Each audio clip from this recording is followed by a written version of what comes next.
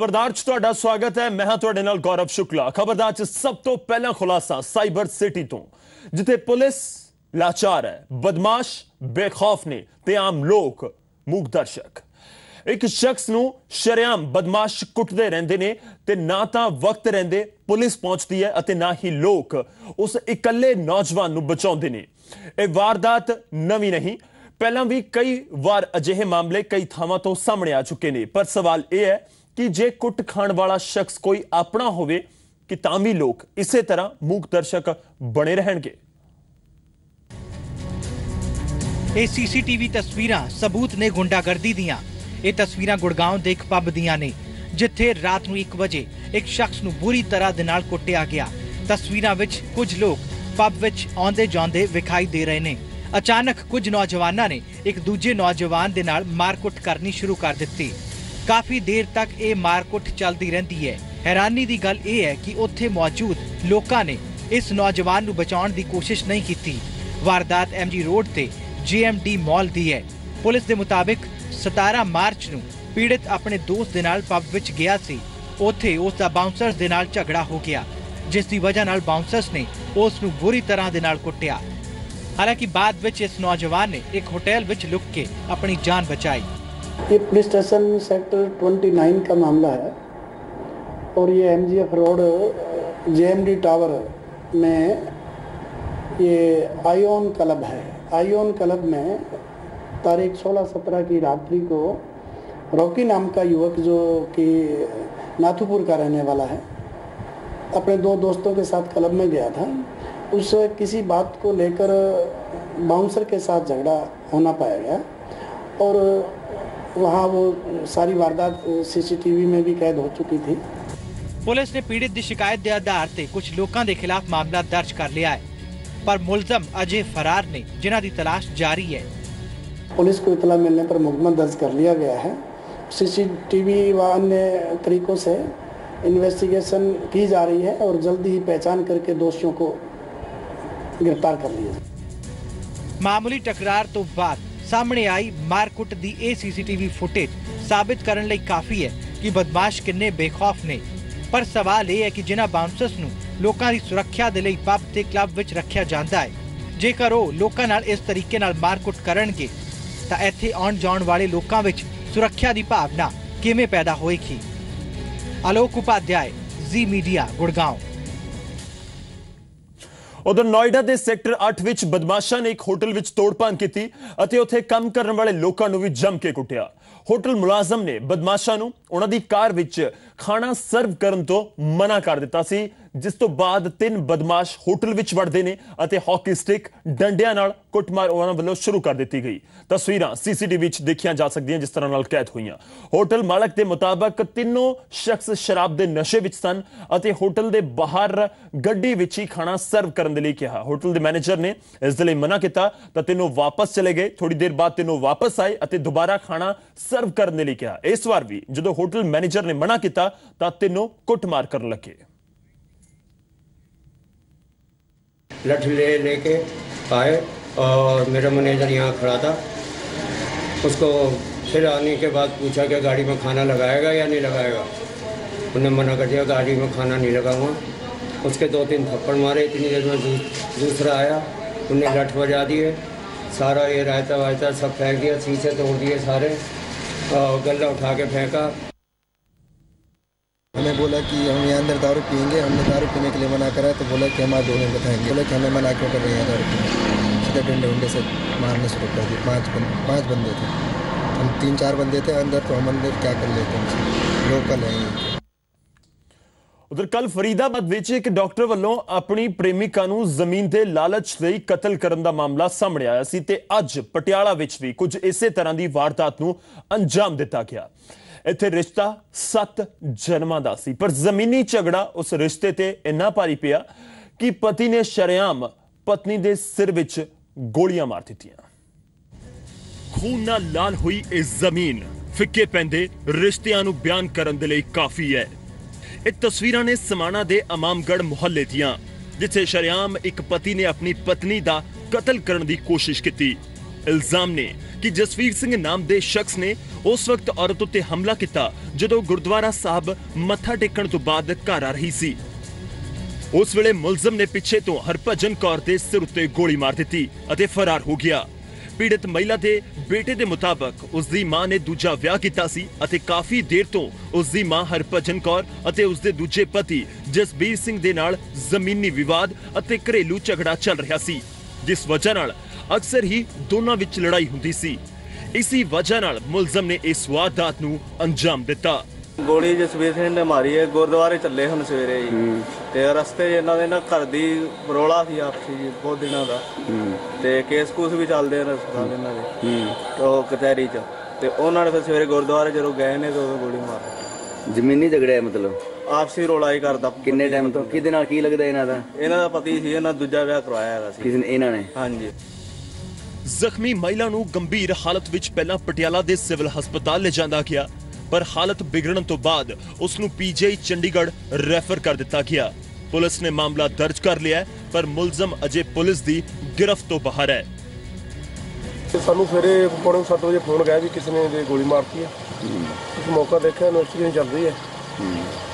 ਜੋ ਅੱਗੇ ਪੜਤਾਲ 'ਚ ਪਤਾ ਲੱਗੇਗਾ ਜ਼ਮੀਨ ਦੇ ਟੁਕੜੇ ਦੇ ਲਈ ਕਤਲ ਦੀ ਕੋਸ਼ਿਸ਼।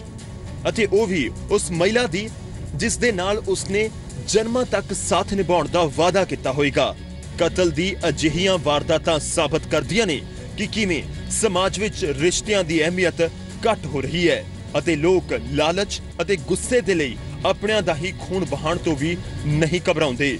ਅਵਤਾਰ ਗਿੱਲ, ਜ਼ੀ ਮੀਡੀਆ, ਪਟਿਆਲਾ।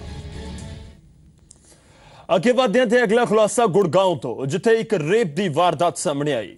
34 ਵਰਿਆਂ ਦੀ ਔਰਤ ਨੇ ਇਲਜ਼ਾਮ ਲਗਾਏ ਨੇ ਕਿ 26 ਸਾਲ ਦੇ ਨੌਜਵਾਨ ਨੇ ਵਿਆਹ ਦਾ ਝਾਂਸਾ ਦੇ ਕੇ ਉਸ ਦਾ ਸਰੀਰਕ ਸ਼ੋਸ਼ਣ ਕੀਤਾ ਹੈ। ਪਿਆਰ, ਵਿਸ਼ਵਾਸ ਅਤੇ ਵਿਸ਼ਵਾਸਘਾਤ। ਉਸਨੇ ਪਹਿਲਾਂ ਇੱਕ ਔਰਤ ਨੂੰ ਆਪਣੀਆਂ ਗੱਲਾਂ ਵਿੱਚ ਫਸਾਇਆ ਉਸ ਨੂੰ ਭਰੋਸਾ ਕਰਨ ਦੇ ਲਈ ਮਜਬੂਰ ਕੀਤਾ ਅਤੇ ਫਿਰ ਉਸੇ ਭਰੋਸੇ ਦਾ ਕਤਲ ਕਰ ਦਿੱਤਾ। ਵਾਰਦਾਤ ਗੁੜਗਾਉਂ ਦੀ ਹੈ। ਜਿੱਥੇ ਇੱਕ ਨਿੱਜੀ ਕੰਪਨੀ ਵਿੱਚ ਕੰਮ ਕਰਨ ਵਾਲੀ ਇੱਕ 34 ਵਰਿਆਂ ਦੀ ਔਰਤ ਨੇ 26 ਸਾਲ ਦੇ ਇੱਕ ਨੌਜਵਾਨ ਤੇ ਵਿਆਹ ਦਾ ਝਾਂਸਾ ਦੇ ਕੇ ਦਰਿੰਦਗੀ ਨੂੰ ਅੰਜਾਮ ਦੇਣ ਦੇ ਇਲਜ਼ਾਮ ਲਗਾਏ ਨੇ ਪੁਲਿਸ ਦੇ ਮੁਤਾਬਕ ਇੱਕ ਤਲਾਕਸ਼ੁਦਾ ਮਹਿਲਾ ਨੇ ਸ਼ਿਕਾਇਤ ਕੀਤੀ ਕਿ ਵਿਪਿਨ ਨਾਮ ਦੇ ਇੱਕ ਮੁੰਡੇ ਨੇ ਉਸ ਨੂੰ ਵਿਆਹ ਦਾ ਝਾਂਸਾ ਦਿੱਤਾ ਪਰ ਬਾਅਦ ਵਿੱਚ ਵਿਆਹ ਕਰਨ ਤੋਂ ਇਨਕਾਰ ਕਰ ਦਿੱਤਾ ਅਤੇ ਫਰਾਰ ਹੋ ਗਿਆ छः महीनों से आपस में इनकी छः महीने से आपस में इनकी जान पहचान थी और इसी बीच में लड़के से उसने शादी का प्रस्ताव रखा लड़के ने हाँ भरी शादी की और शादी की हाँ भरता रहा लगातार जब ज़्यादा शादी का दबाव पड़ा तो लड़के ने उसका जगह बदल दी ਪੁਲਿਸ ਨੇ ਮਾਮਲਾ ਦਰਜ ਕਰ ਲਿਆ ਹੈ ਪਰ ਹੁਣ ਤੱਕ ਮੁਲਜ਼ਮ ਪੁਲਿਸ ਦੀ ਗ੍ਰਿਫਤ ਤੋਂ ਬਾਹਰ ਹੈ ਅਤੇ ਪੁਲਿਸ ਛੇਤੀ ਮੁਲਜ਼ਮ ਨੂੰ ਕਾਬੂ ਕਰਨ ਦਾ ਦਾਅਵਾ ਕਰ ਰਹੀ ਹੈ और इस लेडी ने आकर मुकदमा दर्ज पुलिस स्टेशन में करवा दिया किन किन धाराओं के तहत मामला दर्ज हुआ था तीन सौ छिहत्तर आई पी सी के तहत मुकदमा दर्ज कर लिया गया है और आरोपी अभी गिरफ्त से बाहर है ਮੁਲਜ਼ਮ ਦੀ ਗ੍ਰਿਫਤਾਰੀ ਦੇ ਲਈ ਛਾਪੇਮਾਰੀ ਵੀ ਜਾਰੀ ਹੈ ਪਰ ਜਿਸ ਤਰ੍ਹਾਂ ਨਾਲ ਇਹ ਵਾਰਦਾਤ ਸਾਹਮਣੇ ਆਈ ਉਸਨੇ ਨਾ ਸਿਰਫ ਔਰਤਾਂ ਦੀ ਸੁਰੱਖਿਆ ਤੇ ਸਵਾਲ ਖੜੇ ਕੀਤੇ ਨੇ ਬਲਕਿ ਸਮਾਜ ਦੀ ਡਿੱਗਦੀ ਸੋਚ ਨੂੰ ਵੀ ਉਜਾਗਰ ਕੀਤਾ ਹੈ ਕਿ ਔਰਤਾਂ ਨਾ ਸਿਰਫ ਅਣਜਾਣ, ਬਲਕਿ ਆਪਣੇ ਨੇੜੇ ਰਹਿਣ ਵਾਲੇ ਲੋਕਾਂ ਵਿੱਚ ਵੀ ਮਹਿਫੂਜ਼ ਨਹੀਂ। ਆਲੋਕ ਉਪਾਧਿਆਏ, ਜ਼ੀ ਮੀਡੀਆ ਗੁੜਗਾਉਂ ਖਬਰਦਾਰ ਚ ਅਗਲਾ ਖੁਲਾਸਾ ਕਰਨਾਲ ਤੋਂ। ਕਰਨਾਲ ਦੇ ਦੋ ਪਰਿਵਾਰ ਆਪਣੀਆਂ ਧੀਆਂ ਦੀ ਸਲਾਮਤੀ ਲਈ ਦੁਆਵਾਂ ਕਰ ਰਹੇ ਨੇ, ਕਿਉਂਕਿ ਇਸ ਵੇਲੇ ਉਹਨਾਂ ਦੀਆਂ ਧੀਆਂ ਕਿੱਥੇ ਨੇ, ਕੋਈ ਨਹੀਂ ਜਾਣਦਾ। ਪਰਿਵਾਰ ਨੂੰ ਸਿਰਫ ਇਹ ਪਤਾ ਹੈ ਕਿ ਕੁੜੀਆਂ ਪੇਪਰ ਦੇਣ ਦੇ ਲਈ ਸਕੂਲ ਗਈਆਂ ਸਰ ਪਰ 3 ਦਿਨਾਂ ਦੇ ਬਾਅਦ ਵੀ ਉਹਨਾਂ ਦਾ ਕੋਈ ਸੁਰਾਗ ਨਹੀਂ ਮਿਲਿਆ ਹੈ।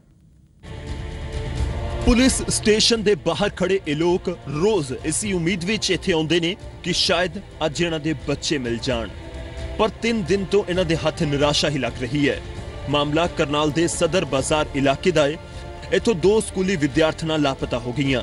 ਪਰਿਵਾਰ ਦੇ ਮੁਤਾਬਕ 6ਵੀਂ ਕਲਾਸ ਵਿੱਚ ਪੜਨ ਵਾਲੀਆਂ ਦੋਨੋਂ ਵਿਦਿਆਰਥਣਾਂ ਸੋਮਵਾਰ ਨੂੰ ਘਰ ਤੋਂ ਪੇਪਰ ਦੇਣ ਦੇ ਲਈ ਸਕੂਲ ਗਈਆਂ ਸਨ, ਪਰ ਵਾਪਸ ਨਹੀਂ ਪਰਤੀਆਂ।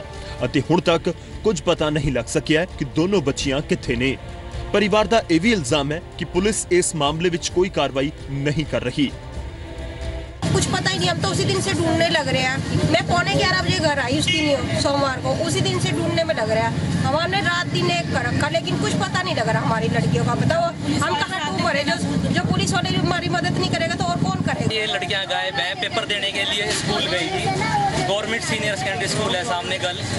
छठी क्लास की लड़कियाँ हैं उसमें गई थी। लेकिन अभी तक ये घर नहीं आई है चार दिन हो गए। पुलिस के पास रिपोर्ट दर्ज है एस एच सिविल लाइन। बार बार पुलिस के पास हम जाते हैं। पुलिस ये कहती है कि हमारे पास कोई क्लू नहीं है हमारे पास कोई क्लू नहीं है हमारे पास कोई क्लू नहीं है। बताओ बेटी बचाओ बेटी पढ़ाओ अभियान जो चल रहा है। कहाँ से बचाएँ? उधर पुलिस के मुताबिक कुड़ियों की भाल की जा रही है पर ਹੁਣ तक विद्यार्थियों के बारे में कोई खुलासा नहीं हो ਸਕਿਆ है। सदर बाज़ार से एक शिकायत प्राप्त हुई थी। उसमें उन्होंने बताया था कि हमारी लड़कियाँ जो है पेपर देने आई थी government girls in secondary institute में। वहाँ से वो पेपर दे कर वापस नहीं पहुँची है। फिर उन्होंने हमारे को शिकायत दे दी हमने मामला दर्ज कर दिया है। उसकी गहनता से जाँच की जा रही है। दो कुड़ियाँ ਤਿੰਨ ਦਿਨਾਂ ਤੋਂ ਲਾਪਤਾ ਨੇ। ਉਹ ਕਿੱਥੇ ਗਈਆਂ? ਕਿ ਕਿਸੇ ਨੇ ਉਹਨਾਂ ਨੂੰ ਅਗਵਾ ਕੀਤਾ ਜਾਂ ਫਿਰ ਮਾਮਲਾ ਕੁਝ ਹੋਰ ਹੈ? ਫਿਲਹਾਲ ਇਹ ਮਾਮਲਾ ਬੁਝਾਰਤ ਬਣਿਆ ਹੋਇਆ ਹੈ। ਪਰ ਇਸ ਮਾਮਲੇ ਵਿੱਚ ਪੁਲਿਸ ਦੀ ਕਾਰਵਾਈ ਉੱਤੇ ਉੱਠ ਰਹੇ ਸਵਾਲ ਵੀ ਗੰਭੀਰ ਨੇ ਕਿ ਆਖਰ ਤਿੰਨ ਦਿਨ ਤੋਂ ਲਾਪਤਾ ਕੁੜੀਆਂ ਨੂੰ ਪੁਲਿਸ ਕਿਉਂ ਨਹੀਂ ਲੱਭ ਪਾ ਰਹੀ? ਕਮਰਜੀਤ ਸਿੰਘ ਜ਼ੀ ਮੀਡੀਆ ਕਰਨਾਲ। ਕਰੋੜਾਂ ਦੇ ਮੋਬਾਈਲਾਂ ਨਾਲ ਭਰਿਆ ਇੱਕ ਕੈਂਟਰ, ਜਿਸ ਨੂੰ ਬਦਮਾਸ਼ਾਂ ਨੇ ਹਥਿਆਰਾਂ ਦੇ ਦਮ ਤੇ ਲੁੱਟਿਆ ਅਤੇ ਫਰਾਰ ਹੋ ਗਏ। ਪਰ ਉਹੀ ਬਦਮਾਸ਼ ਹੁਣ ਪੁਲਿਸ ਦੇ ਸ਼ਿਕੰਜੇ ਵਿੱਚ ਨੇ। ਪੁਲਿਸ ਨੇ ਤਿੰਨ ਮੁਲਜ਼ਮਾਂ ਨੂੰ ਕਾਬੂ ਕਰ ਲਿਆ, ਜਦੋਂ ਕਿ ਇੱਕ ਅਜੇ ਵੀ ਫਰਾਰ ਹੈ।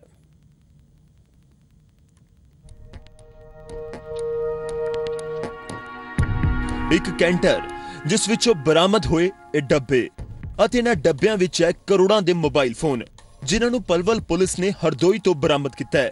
ਵਾਰਦਾਤ 19 ਮਾਰਚ ਦੀ ਹੈ, ਜਦੋਂ ਪਲਵਲ ਵਿੱਚ ਅਣਪਛਾਤੇ ਲੁਟੇਰਿਆਂ ਨੇ ਮੋਬਾਈਲ ਲੈ ਜਾ ਰਹੇ ਕੈਂਟਰ ਨੂੰ ਲੁੱਟਿਆ ਸੀ। ਕੈਂਟਰ ਵਿੱਚ ਤਕਰੀਬਨ 3 ਕਰੋੜ ਰੁਪਏ ਦੇ ਮੋਬਾਈਲ ਸਨ। ਜਿਨ੍ਹਾਂ ਨੂੰ ਦਿੱਲੀ ਤੋਂ ਪਲਵਲ ਲੈ ਜਾਂਦਾ ਜਾ ਰਿਹਾ ਸੀ, ਪਰ ਬਦਮਾਸ਼ਾਂ ਨੇ ਹਥਿਆਰਾਂ ਦੇ ਦਮ ਉੱਤੇ ਕੈਂਟਰ ਦੇ ਡਰਾਈਵਰ ਨੂੰ ਬੰਦੀ ਬਣਾ ਲਿਆ ਅਤੇ ਉੱਤਰ ਪ੍ਰਦੇਸ਼ ਦੇ ਅਤਰੋਲੀ ਕਾਸਗੰਜ ਰੋਡ ਤੇ ਛੱਡ ਕੇ ਫਰਾਰ ਹੋ ਗਏ ਸਨ। ਪਰ ਪੁਲਿਸ ਨੇ 4 ਦਿਨਾਂ ਬਾਅਦ ਤਿੰਨ ਲੁਟੇਰਿਆਂ ਨੂੰ ਉੱਤਰ ਪ੍ਰਦੇਸ਼ ਦੇ ਹਰਦੋਈ ਇਲਾਕੇ ਤੋਂ ਗ੍ਰਿਫਤਾਰ ਕਰ ਲਿਆ ਪਰ ਇੱਕ ਫਰਾਰ ਹੋ ਗਿਆ। गाड़ी को हमने हरदोई ज़िले के अंदर पुरवा या चौराया पड़ता है, वहाँ गाड़ी को जाकर के पकड़ा, जो इसके अंदर तीन चार व्यक्ति, तीन व्यक्ति थे, वो पुलिस को देख करके जब देखा कि पुलिस की गाड़ी तुम्हारे पीछे है तो कूद के भाग लिए। वहाँ पर यूपी पुलिस की पीसीआर खड़ी हुई थी। जैसे उनके पीछे भागे तो वहाँ की लोकल पुलिस की भी हमने वहाँ मदद दी और वहाँ की पुलिस ने भी पकड़ने में मदद की तो उन तीनों लड़कों को वहाँ पकड़ लिया। पुलिस ने फड़े गए मुलजमा तो हथियार भी बरामद किए ने। फ़िलहाल हरदोई पुलिस ने मुलजमा के खिलाफ मामला दर्ज कर उन्होंने गिरफ़्तार कर लिया जिनके बारे में वहाँ की लोकल पुलिस ने बदमाशों के खिलाफ आर्म्स एक्ट का मुकदमा दर्ज करके उनको जेल भेज दिया। और जो, जिन दोषियों के खिलाफ वहाँ लोकल पुलिस ने आर्म्स एक्ट का मुकदमा दर्ज करके उनको जेल भेजा है, उनका हमने यहाँ प्रोटेक्शन वारंट जारी करा लिए हैं।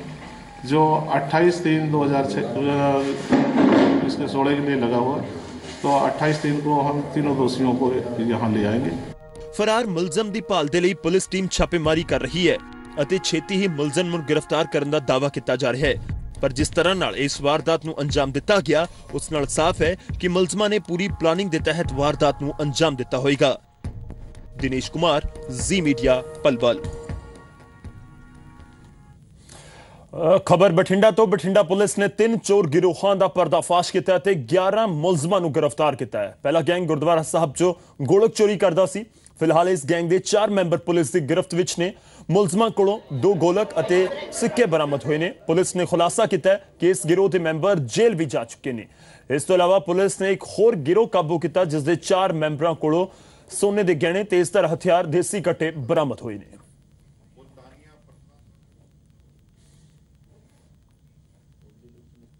ਉਧਰ ਪਠਾਨਕੋਟ ਦੇ ਸੁਜਾਨਪੁਰ ਚ ਤਿੰਨ ਹਥਿਆਰਬੰਦ ਲੁਟੇਰਿਆਂ ਨੇ ਇੱਕ ਨੌਜਵਾਨ ਤੋਂ ਕਾਰ ਖੋਹੀ ਸੀ। ਇਸ ਮਾਮਲੇ 'ਚ ਪੁਲਿਸ ਨੇ ਹੁਣ ਸਰਚ ਅਭਿਆਨ ਚਲਾਇਆ ਹੋਇਆ, ਪਰ ਅਜੇ ਤੱਕ ਕੋਈ ਵੀ ਸੁਰਾਗ ਨਹੀਂ ਮਿਲ ਸਕਿਆ।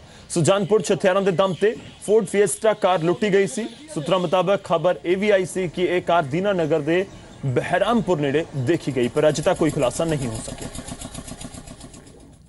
ਉਧਰ ਅੰਬਾਲਾ ਸੈਂਟਰਲ ਜੇਲ੍ਹ ਜੋ ਅਕਸਰ ਹੀ ਵਿਵਾਦਾਂ ਵਿੱਚ ਰਹਿੰਦੀ ਹੈ, ਕਦੇ ਨਸ਼ਾ ਕਰਦੇ ਹੋਏ ਕੈਦੀਆਂ ਦੀ ਵੀਡੀਓ ਸਾਹਮਣੇ ਆਉਂਦੀ ਹੈ ਤੇ ਕਦੇ ਕੈਦੀ ਨਾਲ ਕੁੱਟਮਾਰ ਦਾ ਮਾਮਲਾ ਸਾਹਮਣੇ ਆਉਂਦਾ ਹੈ। ਅਜਿਹੇ ਚ ਡੀਜੀਪੀ ਜੇਲ੍ਹ ਨੇ ਅਚਾਨਕ ਛਾਪੇਮਾਰੀ ਕੀਤੀ। ਡੀਜੀਪੀ ਨੇ ਤਕਰੀਬਨ 2 ਘੰਟੇ ਤੱਕ ਜੇਲ੍ਹ ਚ ਅਧਿਕਾਰੀਆਂ ਨਾਲ ਗੱਲਬਾਤ ਕੀਤੀ। ਖਬਰਦਾਰ ਚ ਵੇਲਾ ਹੋ ਚੱਲਿਆ ਤੁਹਾਡੇ ਤੋਂ ਇਜਾਜ਼ਤ ਲੈਣ ਦਾ ਜ਼ੀ ਪੰਜਾਬ, ਹਰਿਆਣਾ, ਹਿਮਾਚਲ ਦੇ ਖਬਰਾਂ ਦਾ ਸਿਲਸਿਲਾ ਜਾਰੀ ਰਹੇਗਾ।